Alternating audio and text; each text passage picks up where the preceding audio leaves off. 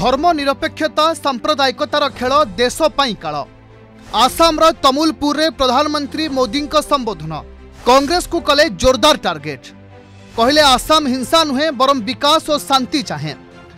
ଆସାମର ତାମୁଲପୁରରେ ପ୍ରଧାନମନ୍ତ୍ରୀ ମୋଦି ଶନିବାର ଏକ ସାଧାରଣ ସଭାରେ ସମ୍ବୋଧିତ କରିଛନ୍ତି।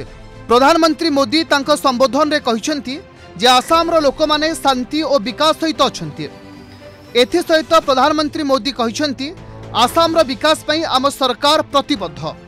ରାଜ୍ୟକୁ ହିଂସାରେ ପକାଇଥିବା ଲୋକଙ୍କୁ ଆସାମର ଲୋକମାନେ ଗ୍ରହଣ କରିବେ ନାହିଁ असम की पहचान का बार बार अपमान करने वाले लोग असम के लोगों को बर्दाश्त नहीं है असमों को दशकों तक हिंसा और अस्थिरता देने वाले अब असम के लोगों को एक पल भी स्वीकार नहीं है। ये साफ़ दिखता है,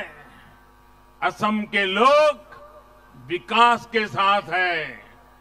असम के लोग स्थिरता के साथ है, असम के लोग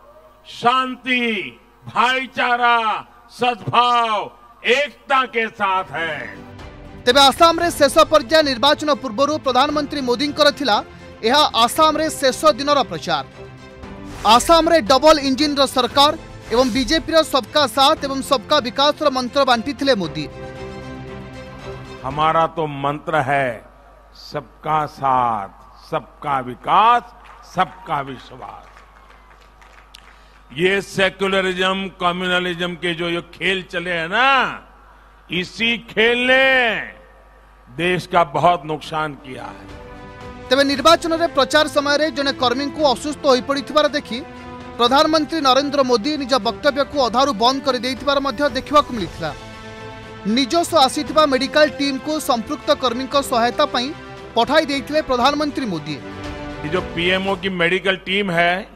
वो जहाँ जाए वहां वो कार्यकर्ता अ, पानी के अभाव में कोई तकलीफ हुई है